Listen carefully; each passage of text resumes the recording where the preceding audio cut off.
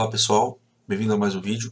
Hoje eu gostaria de mostrar o meu trabalho que foi apresentado na FENASAM, no, no 33º Encontro Técnico da SABESP. Né? Então o título é Mapeamento de regiões inundáveis por meio de geoprocessamento, um exemplo na SABESP Oeste. Os autores sou eu, Bruno Toniolo, os coautores Darlan Silva, Felipe Falseta e Roberto Lourenço. Sou encarregado na SABESP e doutorando pela Unesp Sorocaba.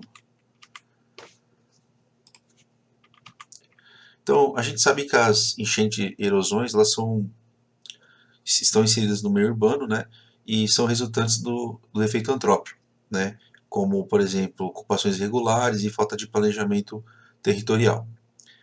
Nessas áreas, as enchentes vão dificultar a mobilidade do morador, pondo em risco a sua integridade física. Então, a figura 1 mostra a diferença entre enchente e inundação. Enchente é quando o rio ele atinge o nível máximo do seu leito, mas ele não transborda. Inundação é quando o rio transborda e ele vai abarcar toda a sua área de várzea. Né? Então, geralmente, a gente fala da forma errada. Quando a gente fala enchente, na verdade, o termo correto é inundação. Tá? E alagamento é quando você tem algum problema de drenagem, como boca de lobo entupida, que vai fazer com que a água fique parada e não consiga escoar corretamente.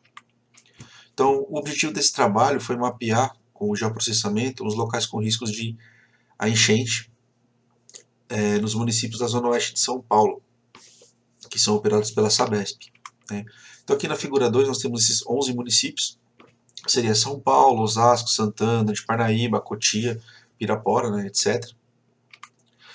E aí, nessa metodologia, foi usada a ferramenta Analytic Hierarchy Process, né, ou ferramenta de análise hierárquica de processo, baseando-se em cinco variáveis, né, que seria a altitude, tirada do é, MDE, declividade, pedologia, que tem a ver com a aerodibilidade do solo, né, a, relacionada à erosão do solo, uso e ocupação do solo, que foi feito pela imagem aérea, e a textura do solo, que seria a granulometria. Tá? É, as variáveis receberam nota de 1 a 10, conforme a sua severidade das classes, e foram especializadas no software QGIS. O HP ele é baseado em matriz de decisão, comparando quanto uma variável é mais importante que a outra, né? sendo 1 a mesma relevância e 9 extrema relevância. E também o, ma o, mapa gerado foi comparado com o mapa de suscetibilidade de inundação do, do, IPT, de 2014. Então aqui nós temos os, os resultados. Né? Página, é, a primeira imagem à esquerda seria o mapa de hipossometria, de altitude. O segundo aqui, declividade. Então a gente tem aqui plano, suave, é, fortemente lado escarpado.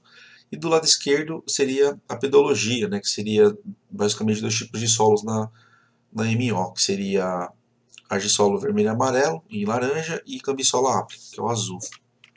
Outra variável do, é, do lado esquerdo seria o uso do solo, né, é dividido em cinco etapas.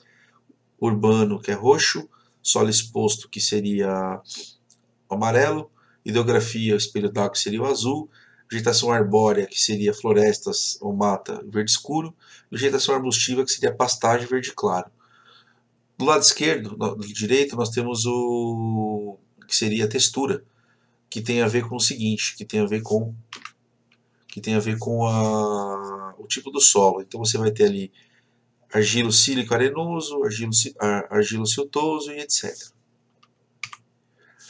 Como resultado, como eu falei, a matriz de decisão, é, a, gente, a gente vai falar o seguinte, essa matriz fala o seguinte, ó, por exemplo, comparando a textura com ela mesma, quanto ela tem de importância? Como é igual, é 1, né? então a gente pode ver que sempre na diagonal vai ser 1, né? que vai, vai coincidir a mesma variável. Agora, por exemplo, se eu, se eu comparar a textura com a pedologia, eu estou querendo dizer que a pedologia é duas vezes mais importante que a textura.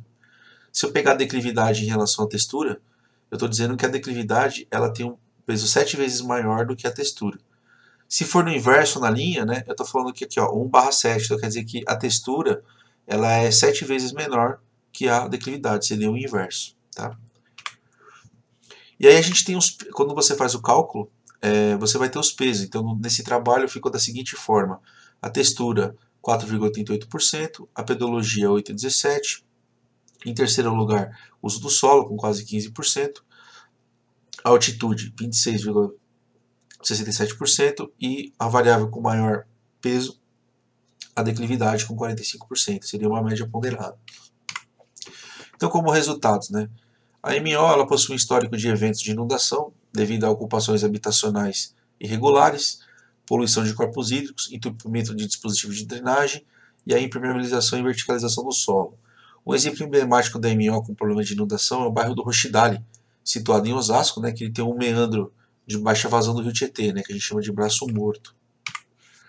E aqui nós temos como resultado o mapa, né, ele foi classificado em cinco categorias, verde escuro, é, risco baixíssimo, é, verde claro baixo, amarelo irregular, é, laranja risco alto e vermelho risco altíssimo. Né? Aqui nós temos aqui alguns rios é, categorizados. Né? Então nós temos, por exemplo, aqui o córrego Pirajussara, que é considerado um, risco alto de inundação. Aqui nós temos um pedaço do rio Tietê, também considerado como risco alto. Aqui nós temos o, o rio Cotia, que seria considerado como risco baixo. E aqui nós temos o, o córrego é,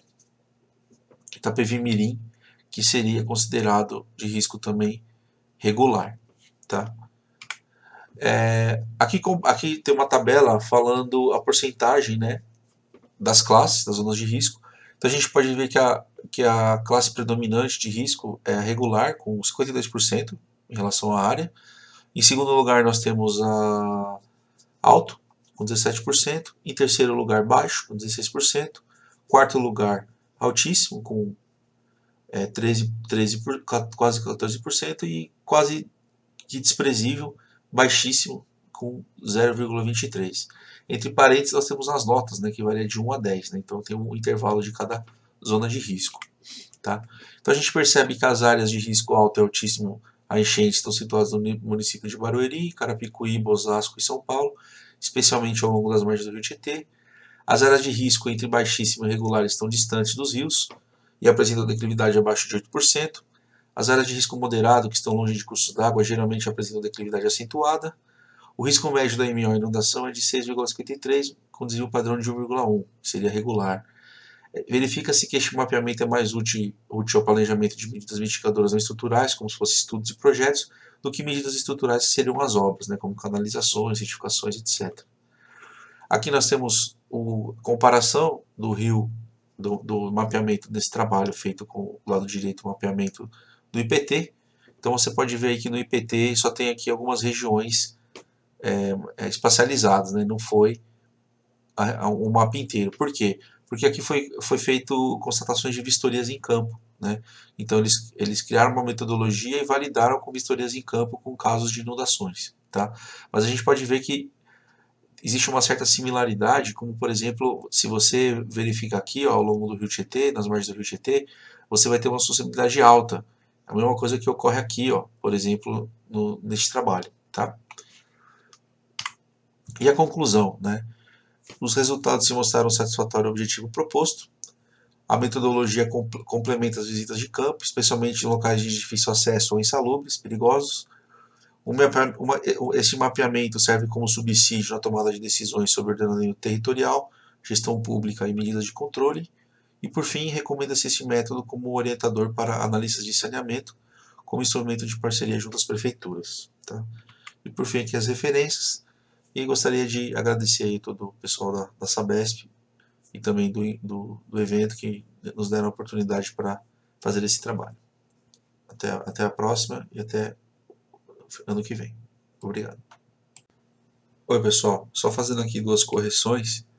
Essa área de estudo aqui é chamada de, pela Sabesp, é chamada de Unidade de Negócio Oeste, né, que nós chamamos de MO, Metropolitano Oeste.